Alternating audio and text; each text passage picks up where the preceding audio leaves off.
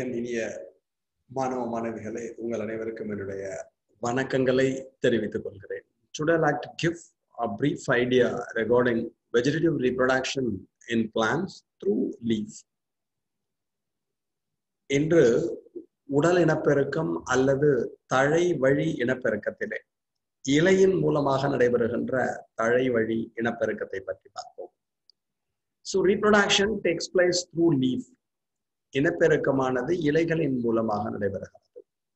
அதுக்கு எக்ஸாம்பிள் இந்த பிரயோஃபில்லம்னு ஒரு பிளான்ட் இந்த பிரயோஃபில்லம் பார்த்தேன்னா அதோட லீஃப் மார்ஜின் இருக்கு பாருங்கல்ல இந்த leaf margin buds are originated these buds are known as the epiphyllous buds ரொம்ப பர்ஃபெக்டா சொல்லணும்னா தமிழ்ல இலை வளர் மொட்டுக்கள் என்று அழைப்பார்கள்.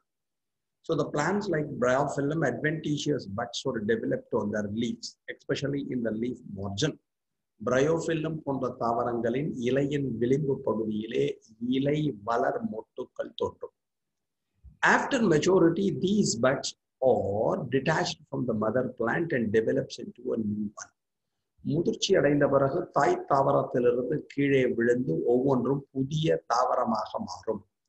So leaf also helps and veg propagation தழை வழி இனப்பெருக்கம் இனப்பெருக்கத்திற்கு இலையும் உதவும் என்பதற்கு இது மிகச்சிறந்த உதாரணம். அதே மாதிரி எடுத்துட்டோம்னா பிரயோஃபில்லத்துல லீஃப் மார்ஜின்ல வருவான். அது மாதிரி பெகோனியா அப்படின்னு ஒரு பிளான்ட் இருக்கா? ஷில்லா அப்படின்னு ஒரு பிளான்ட் இருக்கா? இவா ரெண்டு பேரையும் buds on its leaf tip இலையோட நுனி இருக்கு பாருங்கல்ல அங்க மட்டும் இலை நுனி மொட்டு கல் வச்சுக்கலாம். அது எதுல வரும்னா ஃபார்ம் ஆகும்னா ஷில்லான் பெகோனியா அது ரெண்டையும் ஆச்சு ஸோ லீஃபோட பிரைமரி ஃபங்க்ஷன் இஸ் ஃபோட்டோசிந்தசிஸ் இலையின் முக்கியமான பணி ஒளிச்சேர்க்கை என்பது தெரியும். ஹெல்ப்ஸ் இன் கேஸஸ் எக்ஸ்சேஞ்ச் வாயு பரிமாற்றத்திற்கு உதவும். Also transpiration is a main role நீராவி போக்கிற்கும் உதவும்.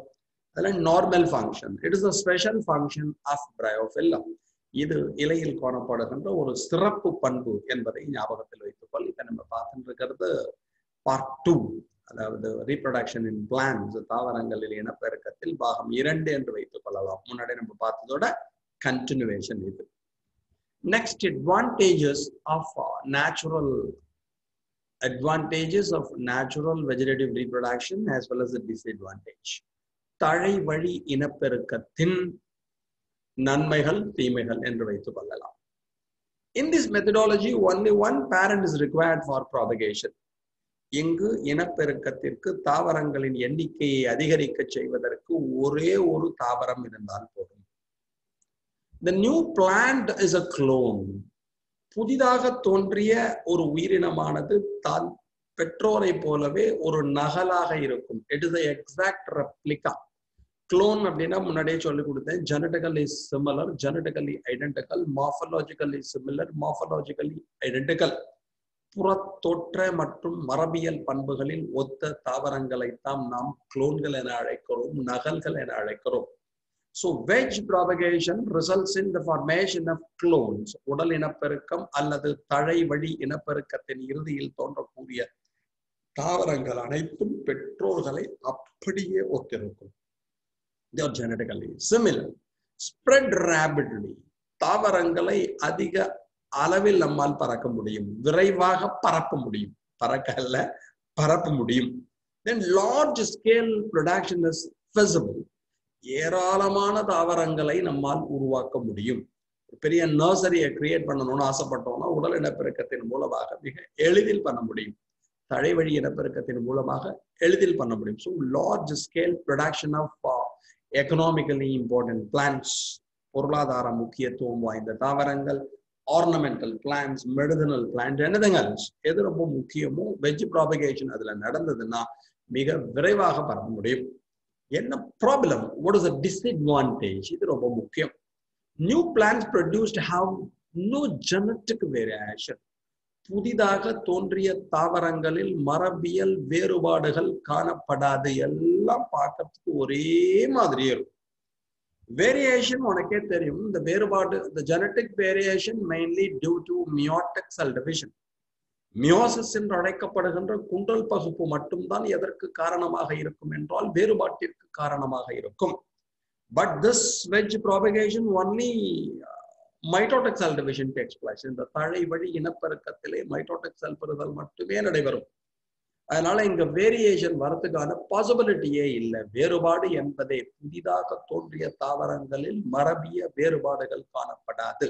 New plants produced have no genetic variation because meiotic cell division is absent meiosis cell பெறுதல் நடைபெறாததால். ஏன்னா வேரியேஷன் உனக்கு காரணம் தெரியும். மியோசிஸ் போது கிராசிங் ஓவர்னு ஒரு நிகழ்வு நடக்கும்.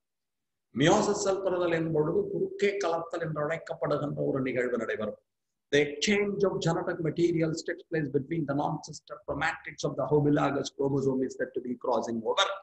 ஒத்திசைவான குரோமசோம்களின் சகோதரி அல்லாத குரோமேட்டிக் துண்டுகளுக்கிடையே நடைபெறுகின்ற ஜீன்களின் பரிமாற்றத்தை தான் நாம் குறுக்கே கலத்தல் அல்லது குறுக்கேற்றம் என அழைக்கிறோம் So that crossing over is responsible for recombination and leads to the formation of new varieties and plays an important role in evolution.